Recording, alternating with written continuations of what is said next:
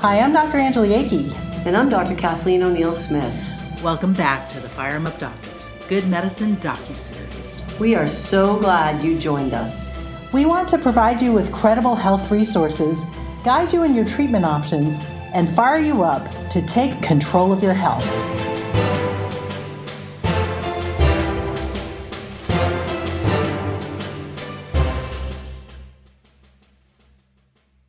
Next, um, we have a image of our cover of our book as well as the foreword who was done by um, Dr. Yehuda Shoenfeld. He's going to be speaking and telling us what he wrote.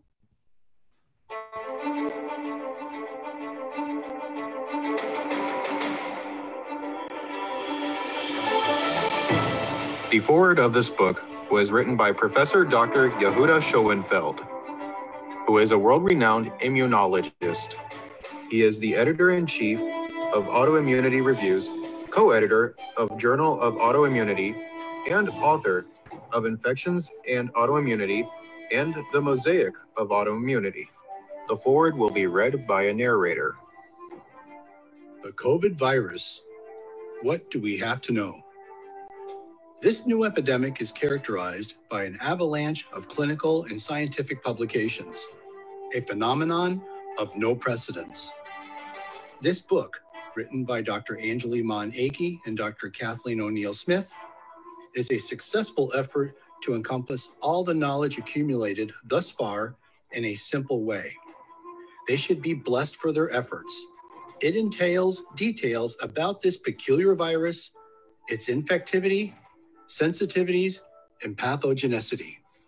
The corona epidemic differs from other infections by the speed of spread, 10 to 20 times more infective, the destruction of tissue in the respiratory tract, the occurrence of a severe infectious situation called sepsis, which is associated with a storm of immunological inflammatory substances named cytokines, cytokine storm, and quick death in predisposed subjects, especially in elderly people with comorbidities.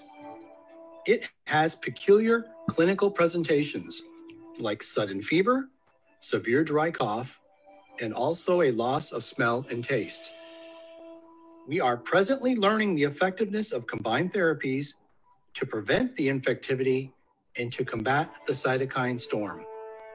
I believe that this book will lead others to have a better understanding of the pandemic. The authors will have to update the book as our knowledge progresses. Meanwhile, as a reader, take care of yourself and listen to the recommendations of the authorities.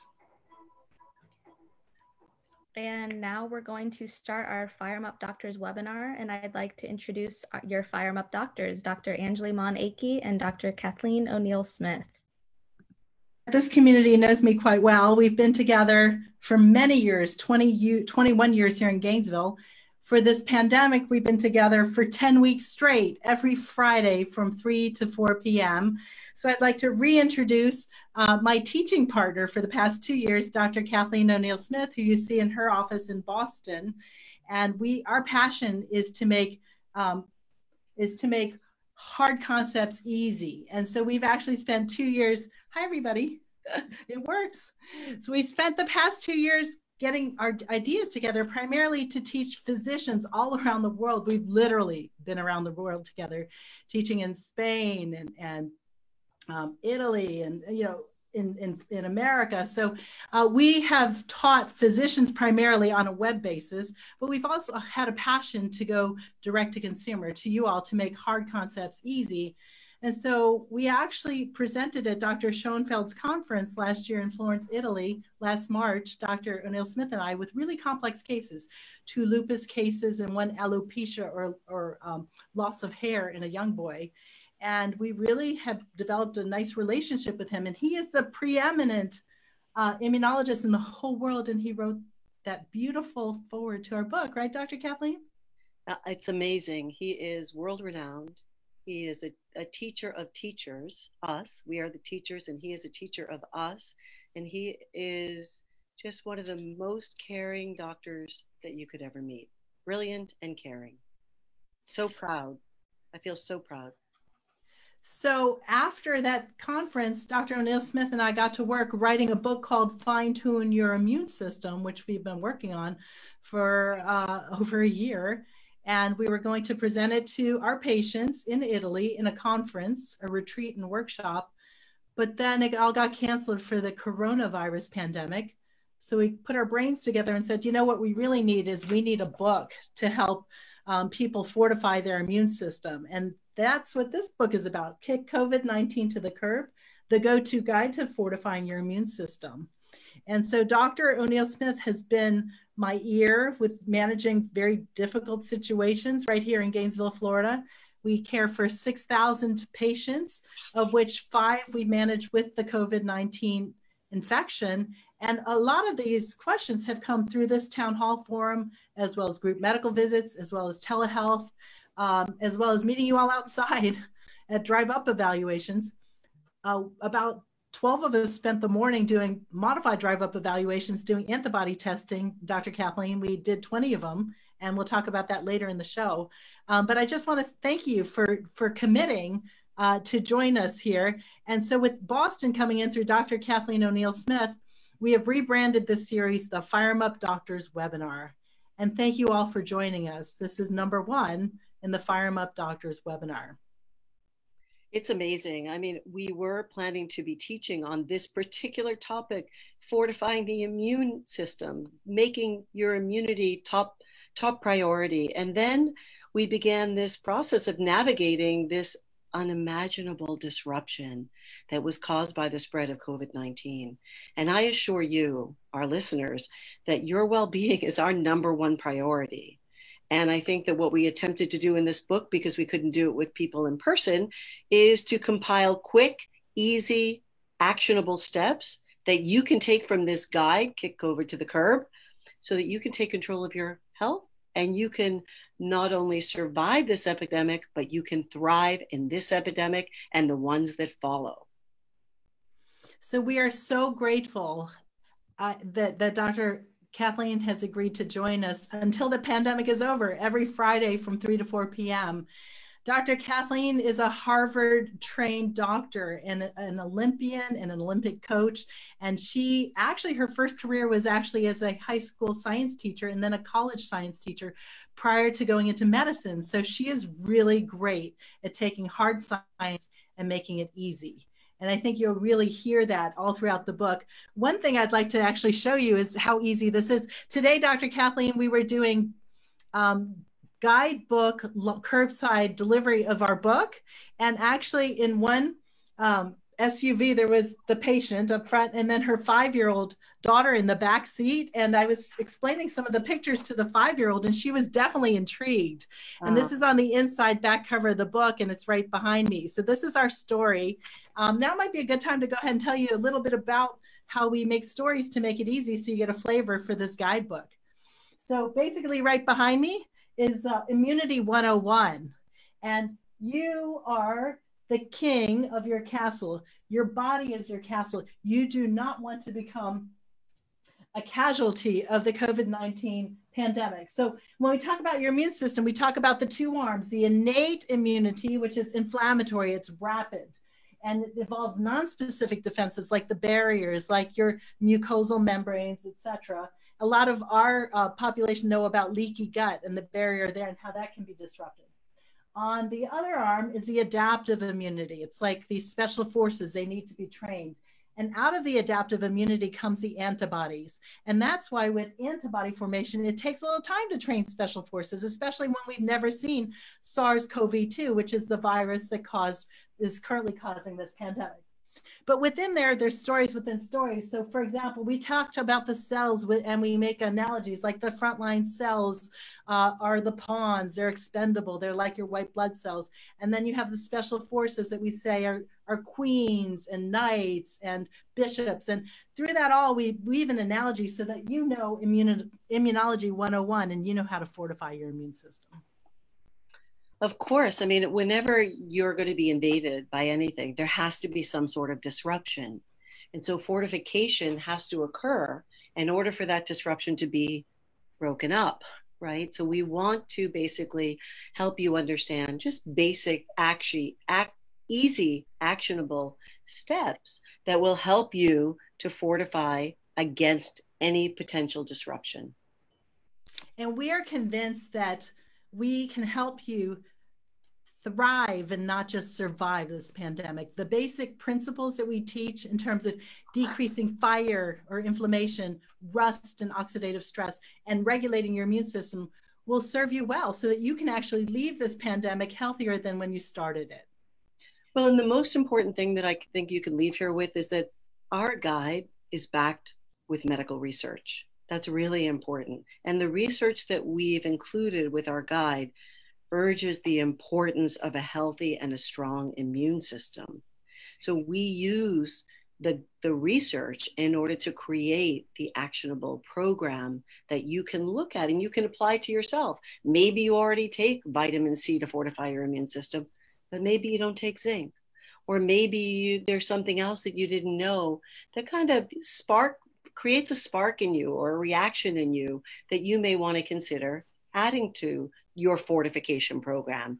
So I think that we're not able in this type of a format to individualize and to customize these, but we give you lots of information for you to use your own intuition as to how you might be able to use the data that we're providing for you based upon your history at what you might need to add to fortify your immunity and to prevent any disruption.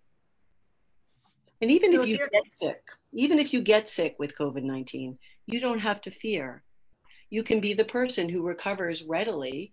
It's not going to be easy for seven or 14 days, but you'll recover possibly just with Tylenol. Not even, you know, you'll have your your doctor, your primary physician, your primary healthcare provider available to you, but you'll be able to be home and feel confident that you're going to survive this and then thrive subsequently with antibodies, as Dr. Ige was talking about earlier. Dr. Kathleen, that reminds me of patient number three. He's a 62 year old retired Army veteran who worked out really hard, continues to work out. Actually, we think got a COVID 19 infection in the gym. He had a fever to 102 and called me. I, I did a drive up evaluation, did a COVID swab in March, and three days later it was positive.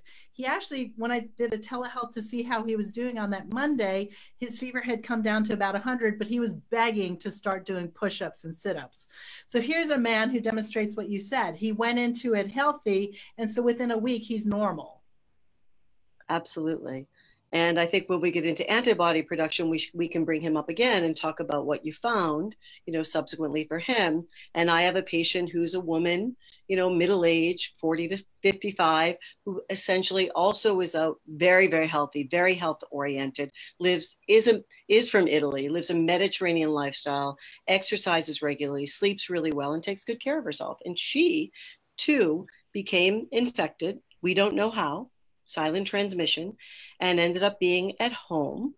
And essentially, within 10 days, only using Tylenol and the other supplementation that she's been using previously for fortifying her immune system and adding a couple of things based on her own story, you know, throughout those 10 to 14 days, she did brilliantly well. Within 14 days, she was back you know back in the back in the workforce back out there working and feeling strong and it's now been about three to four weeks and she is doing great she's reinvented herself you know based on that little down spell which she had a lot of time to think it wasn't easy to get through we spoke every day but there was nothing that she needed other than the supplementation she was taking and some Tylenol. And she's, you know, that's a that's a good sign. That's someone who's proactive about their health from a lifestyle perspective and then also from what am I going to do to make it even stronger? So, in our book, we talk about it as fortifying your castle walls and making the moat deeper so you don't get penetrated in the first place. But if you plugged all the holes and got ready for this, you will be getting through unscathed, of which the statistics say at least 81% of people who, who get COVID 19 infection get through relatively unscathed. So uh, we're hoping that actually for, we've been messaging this for the past two, three months, Dr. Kathleen, that our sole mission at our regional practice, North Florida Integrative Medicine, is to get our 6,000 patients through to July 4th unscathed. And so far we've been doing, knock wood, really well with that. Well, I think the best thing too, in addition to just taking it in small steps, you know, you can't win the football game, and you, you, you all know this in Gainesville. You can't win the football game in the first quarter. You can try, but really, you never know what's going to happen. So you've got to get to July 4th, and you just put one step in front of the other, and then you continue to add and adapt and evolve with the things that we learn, and that's why we're going to keep people updated right on our website firrimupdoctors.com and then also through these webinars we want people to understand what is the what information is coming out and how are they going to discern what's useful, what's true, what's helpful to them. And that's really the important thing because beyond July 4th, I don't believe this bug is going away. I don't believe we need to fear the bug. I think we need to take actionable steps. We need to be proactive in order to, and and basically taking in the information and understanding it in order to create the game plan to win the game. Absolutely. So um, we've had over 100 patients of ours for the past 10 weeks and this is the first time of us together. So we promised in this new format that we would do brief update for five ten minutes regionally both in at north florida and in boston. So we'll go ahead and do that. And then we'll move to a faq update uh, which is updating our book our guidebook which is actually already posted on our website. So for the my, my regional patients, North Florida Integrated Medicine, please start looking for this material at our combined website called firrimupdoctors.com. That's F I R R I M up doctors.com. We posted already all of these references onto the website. Over 160 references and hyperlinks are on the ref- on the website. Whether or not you picked up the guidebook, you can order the guidebook there but also we'll be putting this recording onto that website as well as our Fire Up Doctors um, Facebook page. So if you if your friends and family didn't get a chance to watch this, they can watch it there. And also we're live streaming on Facebook now. And again, Dr. Kathleen, who you know, just meeting her now is absolutely brilliant. Uh, we'll be putting it um, on our Facebook page as well for your friends and family. Okay, so let's update you with North Florida. So we did the, the guidebook launch today. Uh, 20 people came and got a signed guidebook. They also had point of care testing, Dr. Kathleen. And I'll go through what we found within our 6,000 patient community in terms of um, positivity with serology testing, which isn't much, which tells me our population here at North Florida Integrated Medicine is really, really healthy at this point. So I'll go through that, the statistics with the slide in a minute, but we're really happy that we were able to launch in North Florida our um, Kick COVID to the Curb not, um, guidebook. And I know we'll do, be doing Boston in the future.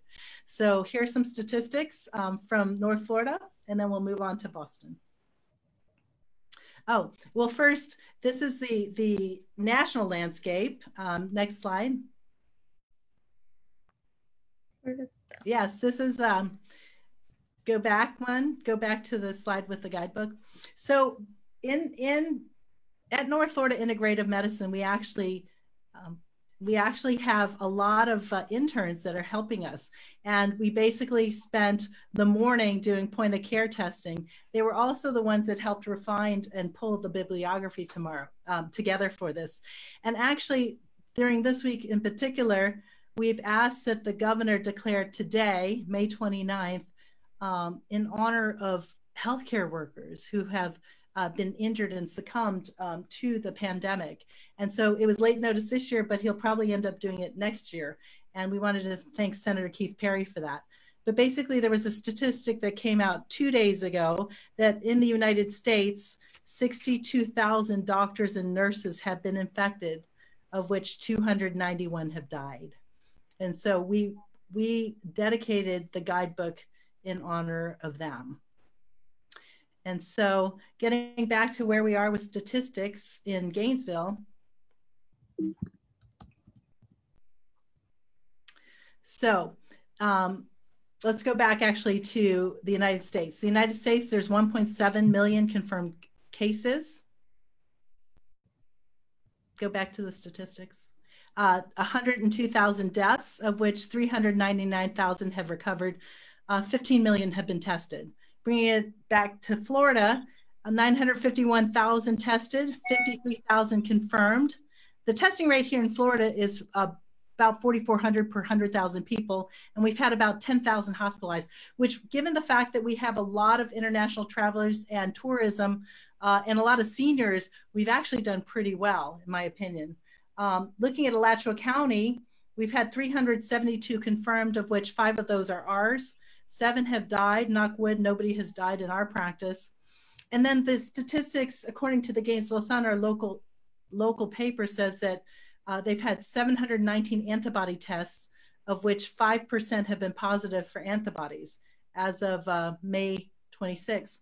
However, our population of 6,000 patients, uh, and we've been really proactive with these town halls. We've been social distancing. We've been asking people to make sure that they they shelter at home. We've done 74 serology tests, of which only two have been positives. And those two positives were patient zero, Julie, who traveled from Italy, who had two negative COVID swabs. And I subsequently did a positive antibody test on her. And the other positive has been uh, patient number four, a frontline healthcare worker um, at this point. So that's what we're looking like in Alachua County, specifically, though, at, at, our practice, NFIM or North Florida Integrated Medicine. So, not a whole lot of seroprevalence, at least with our, within my specific community of over 6,000 patients, Dr. Kathleen. Mm. In Boston, we have a lot more. I mean, I think it, you know, I think Boston and New York, um, the key thing is that we've had that the conference, the Biogen conference, really put us on the map because the that the people who attended that conference, it's a scientific conference, they were from all over the world, from China, from Italy, from all over the world. So that was a little bit of where this all began in Boston. But I don't know. I mean, the numbers are the numbers, so we can only use the numbers that we have. But within one county, which is Suffolk, Suffolk County is a county within Boston. It's the biggest county. It's Boston downtown, Boston proper, and a little bit of the surrounding area areas. And you know, Boston's dense, nothing like New York. And so there have been just about 17,700, almost 18,000 cases that have been confirmed. And the deaths in general are quite low at 852 in the scheme of things. And essentially, that the majority, sadly and unfortunately, were in the most vulnerable. The people who basically couldn't protect themselves, people in nursing homes. At least 50% of those de- deaths are in nursing home vulnerable people who obviously don't have the most fortified immune system. So that's an issue. There are, however, 100 year old patients or people who have recovered from this. So you can fortify your immune system at any age, regardless of your current status. You've got to put one foot in front of the other and know that every penny in the bank, so to speak, you know, essentially is effective. So in Boston recently, I think it was last week, uh, maximum 10 days ago, they did a study and they took 750 participants from the lower socioeconomic areas and they brought them and they did testing. So there is a really large uh, confirmed caseload in a, an area called Chelsea. And they checked some people from Chelsea, some people from a variety of the different neighborhoods, we call them in Boston. And they found that 10% tested positive with antibodies. So we're, so I, essentially within my practice i'm finding a similar antibody testing. You know the people who are testing antibody positive in my practice have all had symptoms have all stayed home for a minimum of seven days and a maximum of 21 days with an illness. None of them have gone to the hospital. And I would say that we've also got about a 10% antibody positivity rate. But many of those people tested negative with PCR. In the early days, they could not get PCR testing. So in March, they were unable to get PCR testing. But in the subsequent days in April, the people who were had tested positive with antibodies in my practice basically demonstrated um, also tested po- negative. Say the majority of my people were negative PCR nasal swab testing, but the 10% showed positivity with antibody testing. And I think that's that's pretty encouraging. We'll talk a little bit more about antibodies in a bit, but I think that's pretty encouraging. So we're not near herd immunity, and that's you know a, a big part of our book. And how do we get to herd immunity? And herd immunity has to be upwards of 50%.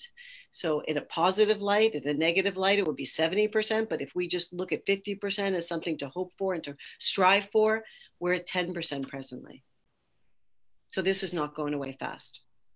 Yeah. So just think about in our community here at North Florida Integrated Medicine. So we have 6,000 patients. And so in order to obtain herd immunity, 3,600 of you all would have to have positive antibodies And at this point, we only have two that we know of. So we're far from herd immunity here in our population at North Florida Integrative Medicine. So that's why we're going to be with you for the long haul. Um, yeah, so I want to move on to the reason why we're to, we we are calling this Dr. there's a Dr. Stanton who's a PhD, retired public health service. He said that our book, uh, at the our book, adding a cherry on top, they combine their work with online resources so that it never goes out of date. So what we intend to do is every week we'll pick one kick COVID-19 to the curb frequently asked question. So it's in part four of our book. We, we did eight, so this will be nine, launching with the first um, combined webinar. And we're going to pick one FAQ update to make sure that this guidebook stays up to date. So this is the topic for today. It's actually, um, it, the question is, are there any animal studies that suggest the antibodies from COVID-19 protect you from reinfection? Well, I, I also want to say, Dr. Akey, that one of the key things is that you, everybody will know from whatever they read in the online, on print or online or whatever they hear, it's, this is not an easy task. To, in order to decipher what this information means is not an easy task. It's something that requires a team, and we've got a great team in Florida with Dr. Akey, an amazing team. So proud to be part of that team.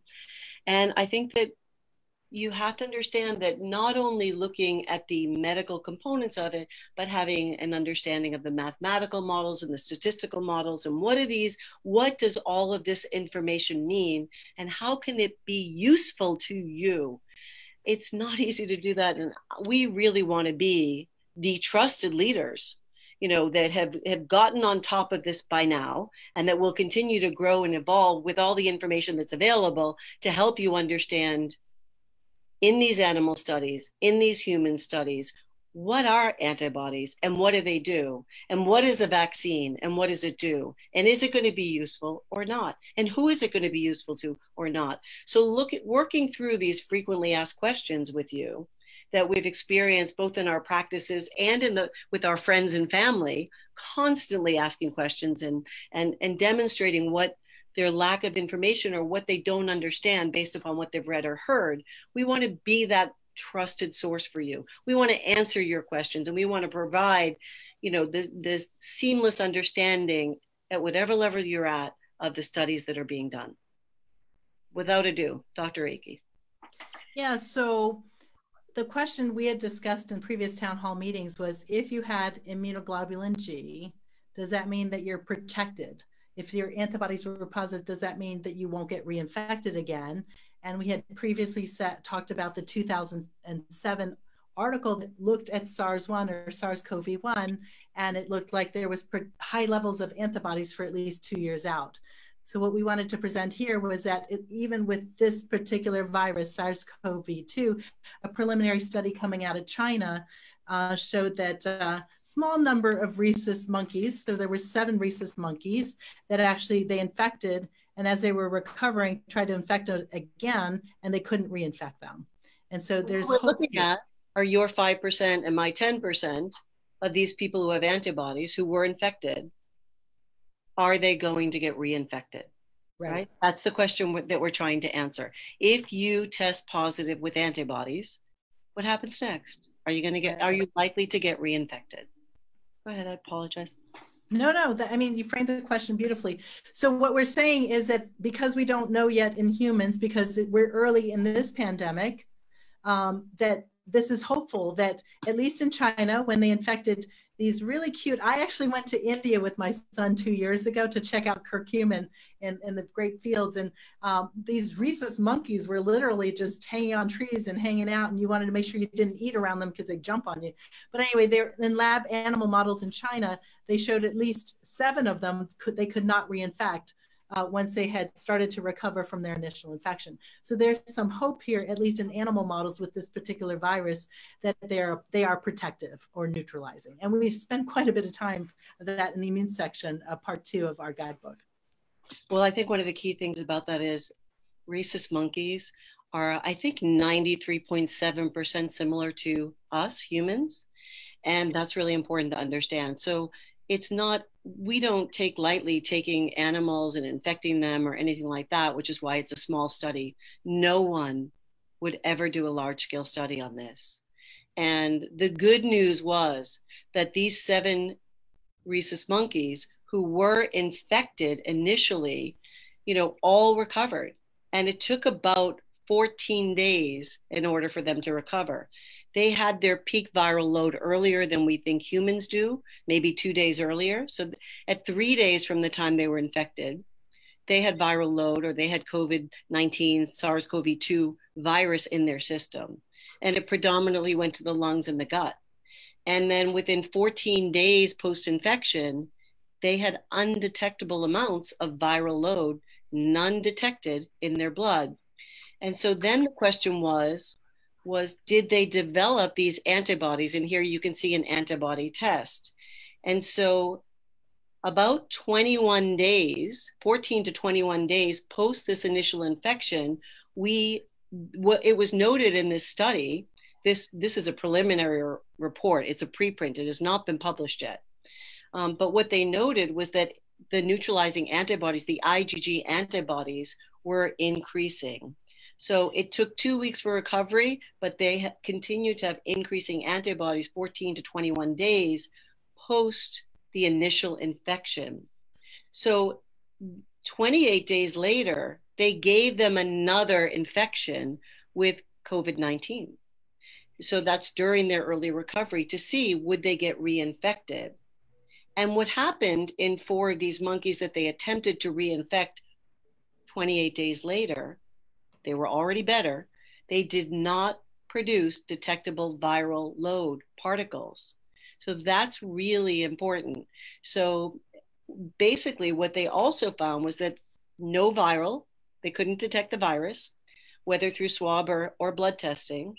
They did not clinically get very, very sick at all, like the first round of infection, and that their antibody titers were significantly higher than with the initial infection. Now, we can't translate this directly to humans, but it's promising. And we need to continue to study this. And we need to, the goal is to track infectious status, the people who are becoming infected, to track their status with respect to how long will their antibodies last.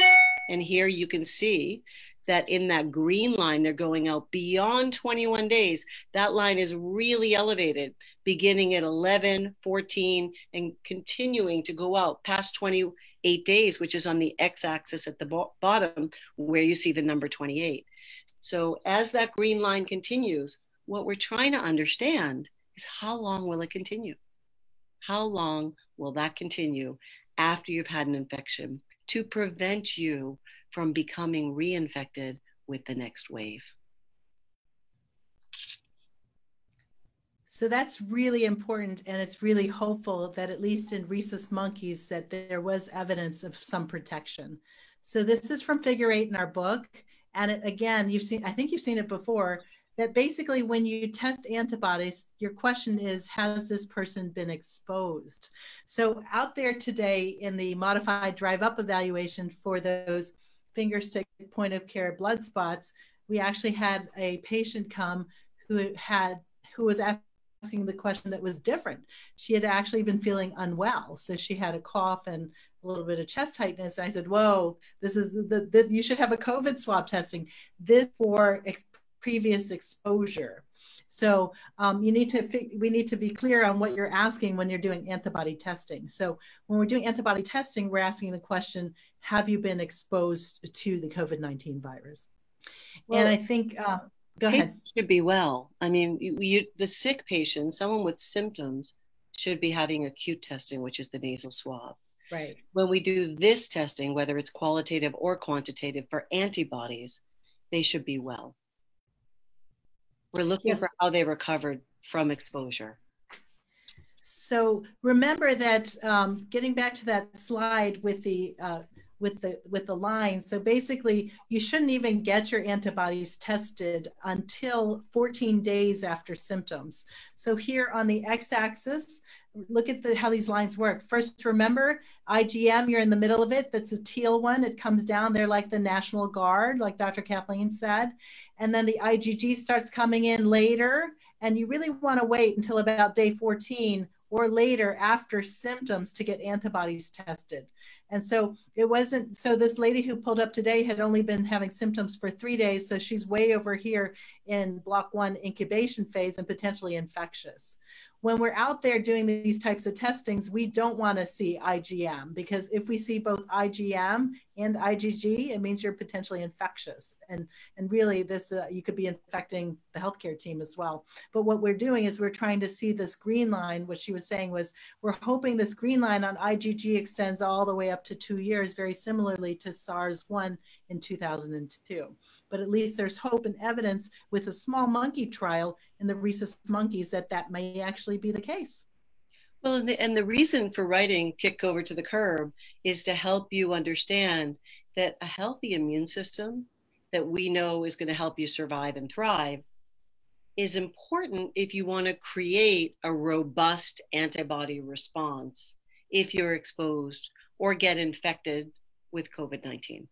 So if you have any exposure and if you get infected, the way to developing these antibodies and getting the response that we would like you to all have for herd immunity, the positive response to IgG, is determined by multiple factors, but a primary factor is the health of your immune system. So one thing we wanted to touch on but not dig into here is the utility of not only getting the qualitative tests like this is patient zero who actually had down here in the picture with the gloves, uh, there's a faint line where it says IgG. So she had come back from Italy in early March, had two negative COVID swabs being admitted to the hospital but you know she was so sick and so hypoxic or having low oxygen levels that we were convinced especially with an aunt who subsequently tested positive for covid that she had covid and respiratory syncytial virus. So this was done two weeks ago and sure enough she had covid with rsv but anyway so that's a qualitative test. It's like a pregnancy test. Are you pregnant or not? The quantitation is measuring. So how pregnant are you? So patient zero actually has quantitative tests uh, pending currently. Do you want to speak to that, Dr. Kathleen, and what you think is the importance of quantifying how positive is your positive immunoglobulin G? Sure. Well, I think when you heard about the patient here in Boston, the Italian woman who does not live in Italy, lives in Boston, um, but she's of Italian descent of, for 30 years. The reality is this you never use one test to determine COVID 19 diagnosis. Never you if you do a she had multiple positive nasals i mean multiple nasal swabs that were negative. But she looked like covid smelled like covid acted like covid. So she was covid until proven otherwise right? Which meant she stayed at home. Now had she had some other you know significant symptoms she might have gone to a hospital but we managed them at home and she had been fortifying her immune system. So the reality is is that you can we need to risk stratify we need to determine how big is the risk for a certain person and how much is the likelihood that they have been exposed to COVID. So we try the nasal swab. It's positive or negative. You you know and I know that 4 to 10, 4 out of 10 people may be negative. That's a big, pretty big number when we do the qualitative testing, this is easy testing, this qualitative testing to tell if you have a line for IgG, it's just like getting a pregnancy test. If you get the pink line on the pregnancy test, then you're likely pregnant. But in order to know how pregnant you are, as you said, and how sustainable that pregnancy will be, we need to do a quantitative, a number for your HCG with the blood tube. And when we do a number, we tell the viability the viability of the fetus. When we do a number with the quantitative antibody testing, we, we determine the viability of your immune system response. How robust is that immune system response? So the important thing is, you know, to see is there immune system response? And then if there is one, I think it's very important for us to do additional testing for quantitative numbers to understand the robust nature or not of that antibody response. If somebody's negative on this qualitative test, it's very unlikely that they're going to have a robust antibody response. So for this one, which we carry here in the office, it's SD Biosensor and it's 97% sensitive and 97% specific.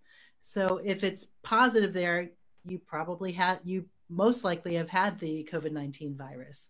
So, getting back to moving past this like pregnancy test or the point of care blood spot testing, which we did 20 of them today outside, if they're positive, then you should proceed to quantitating or measuring it because then we'll be able to develop the science to see at what level positivity you have to be protective and to not get infected again. And then we can also see, such as in patient number four, the healthcare worker who almost got intubated in our practice, who refused and is now back in the healthcare system. We can follow this, this man's quantitation to see um, over time to see when his immune system starts getting tired again. Uh, if you look back to SARS-1 data from 2002, uh, that could be up to two years, and that's a good thing. It's a wonderful thing. I mean, but I think that from 2002 till now 18 years later everything's shifting. Everything's uh, you know it's a very stressful time. This was unprecedented. This caught us off guard unimaginable. And so i think that we really have to understand that stress is a friend of the virus right? So we talk a little bit about that in the book and how to mitigate stress.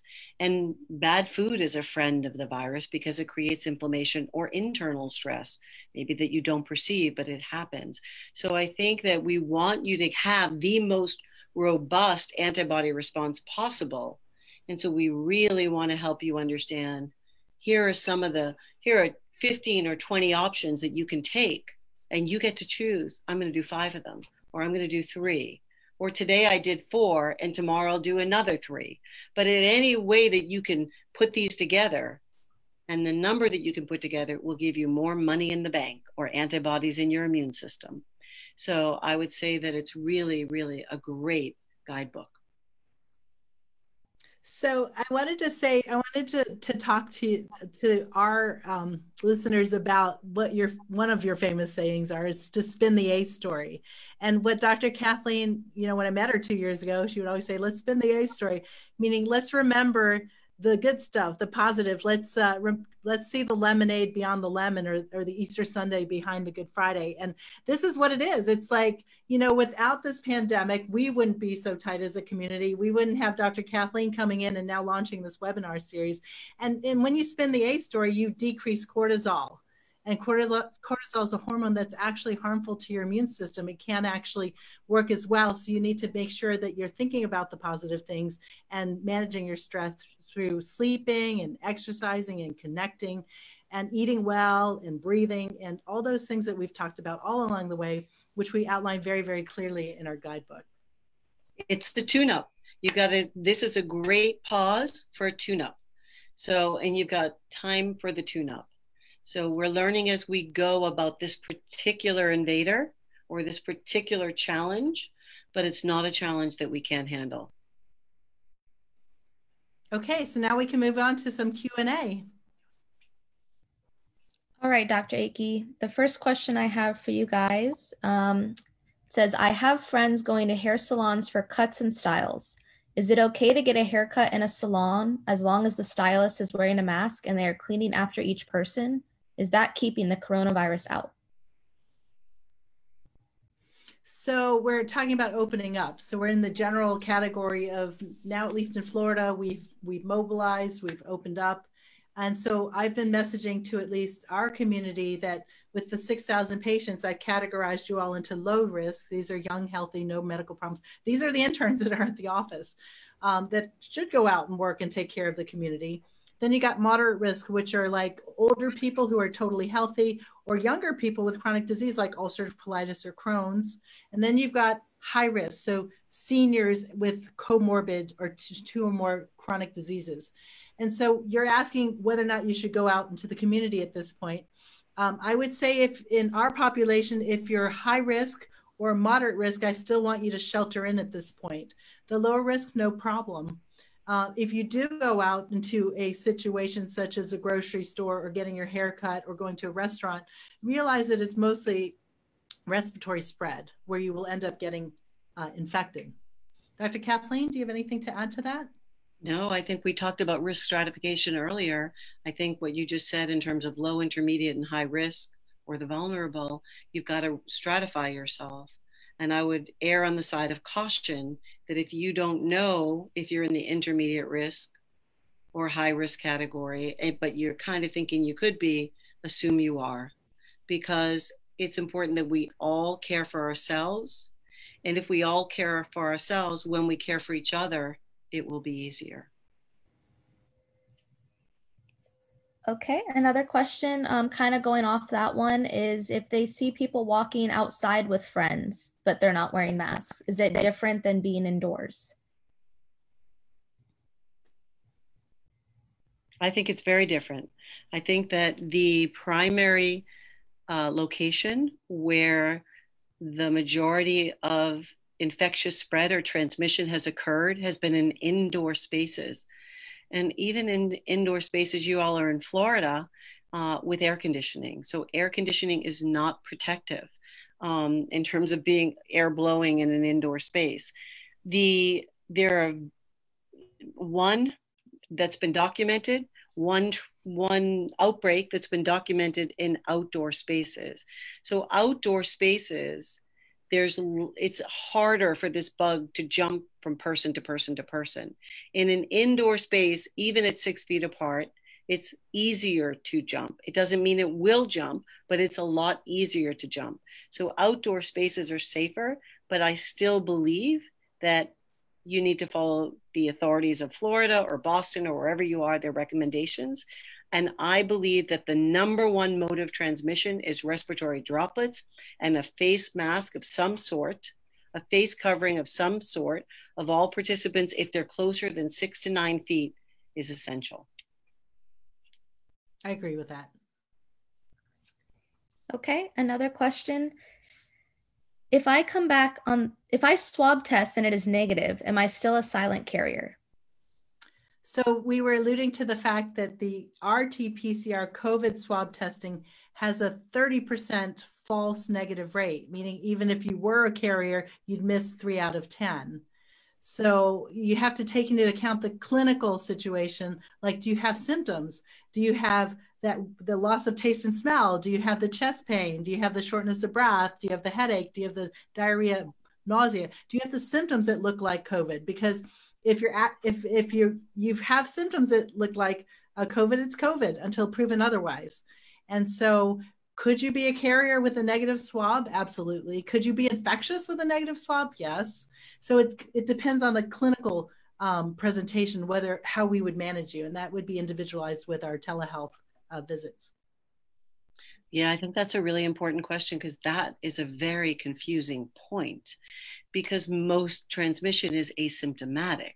So if you believe you've been exposed, which most people are not going to know, then you could be a carrier for a period of time, call it a month.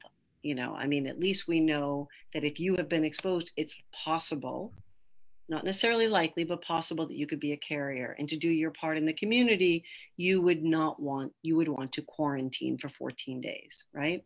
So, as a, a, another potential silent carrier that can do transmission, if you have symptoms, and as Dr. Akey said, it looks like, smells like, sounds like COVID, then it's likely COVID. And you definitely need to be quarantined until you are 100% asymptomatic, regardless of your test result your nasal swab testing result because you know we're still learning. We're still in the learning curve for this.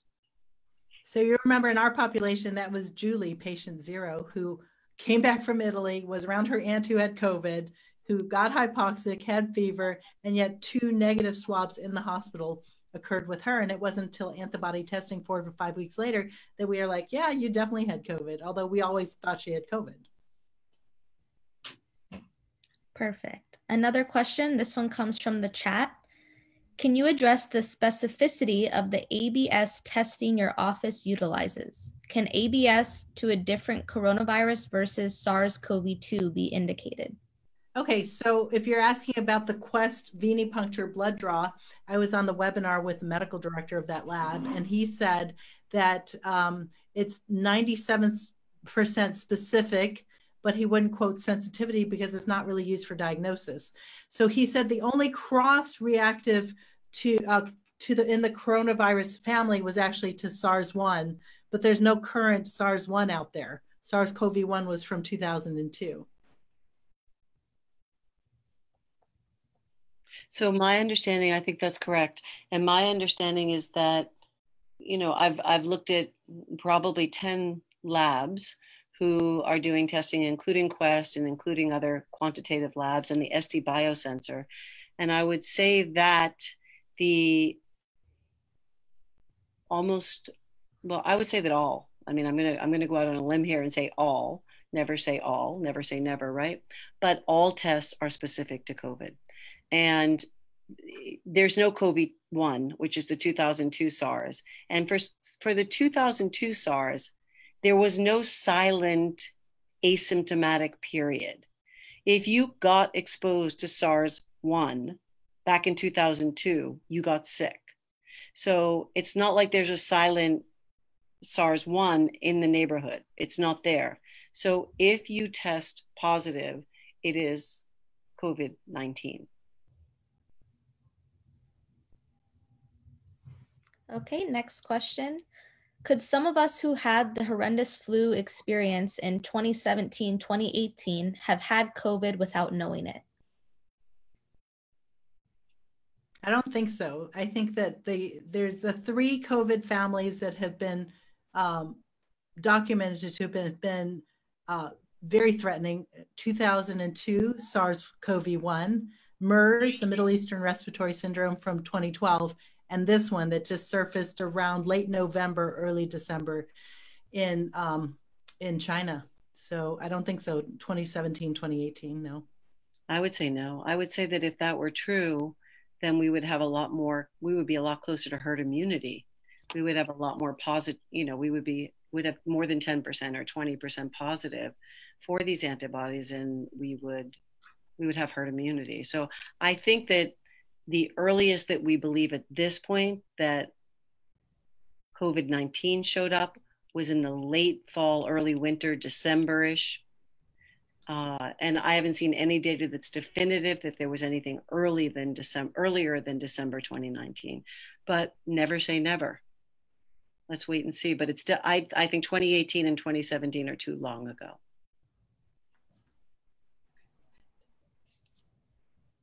Um, we have about five minutes left, so I think we're going to end the questions there for today. Um, yeah, Dr. Akey and Dr. Kathleen want to close us out, and then I'll play the outro. Yeah, so we, you know, we so appreciate you being involved and and and getting on these. Um, now it's a it's a Facebook Live, so we can you can invite your friends and family. There's no reason to even register anymore. And these questions are absolutely fantastic. Uh, we'll try to keep them in a question bank and we'll try to pull them together over time. We're not going anywhere. We don't think this pandemic's going anywhere. And now we got a commitment from my teaching partner, Dr. Kathleen O'Neil Smith, to come every Friday from 3 to 4 p.m. So thank you for being in our community. Kylie wants to tell you about the book and then we'll be wrapping it up. Thank you, Dr. Kathleen. Do you have anything else to say? Well, I would say that we hate when people don't feel well. We, we're here to help you be well. And we would love that if you know people who are not feeling well, that you will share this information with them so that they can join us on our Facebook Lives and learn how to be well. Because we want all of you to be well. And even those you love and those you come in contact with in the in the in the future please invite them to join us so that we can increase the community and help all of us to fortify our immunity. So for now, be safe, be well, and God bless you all. Thank you, Dr. Kathleen, for coming on the FIRRIMup Doctors webinar. So Kylie has something to tell you all. Hi, everybody. Thanks for sticking with us on this first really exciting FIRRIMup Doctors webinar. I know you've all heard about uh, our book. I just want to send a reminder we are doing the launch week special. That'll be this week. So if you want to get those orders in, make sure to email NFIMGMV. That's Gators Make Victories GMV at gmail.com. I'll type that in the chat. If you could email us before five o'clock, we're going to be staying open till 5:30 today. So if you want to pick up, we'll be here till then. And you can also, if you want to have it shipped to your house, you can buy it from our website, the FIRRIMup Doctors website that I'm also going to be sending in the chat. So you can order it on there and get it shipped right to your house if you live outside of Florida. Thank you everybody for joining us and we hope to see you next week. Bye.